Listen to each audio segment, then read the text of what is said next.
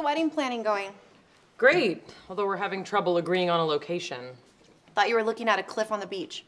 We were, but Sheldon didn't like any of them.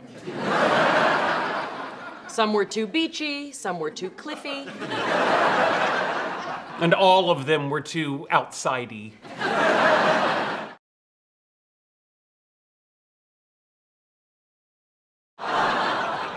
Hey, sweetie. Everybody good? Yeah. Sure.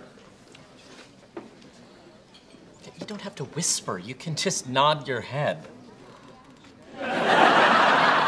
Or you could just speak.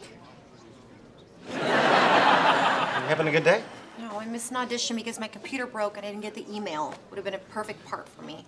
Was it waitress who ignores her customers because that's a role you were born to play? Just shut up and eat your burger. Actually, it's a turkey club. Didn't you order a burger? I did, and yet here we are.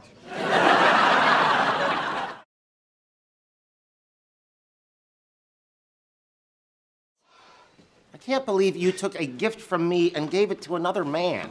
You, really? Of all the things she's given to other men, that's what you're concerned about. Please don't make a big deal about this. It was a long time ago. We were broken up. Which breakup was that? Was that the St. Valentine's Day massacre? No, no, this might have been during the Comic Con Dumpathon.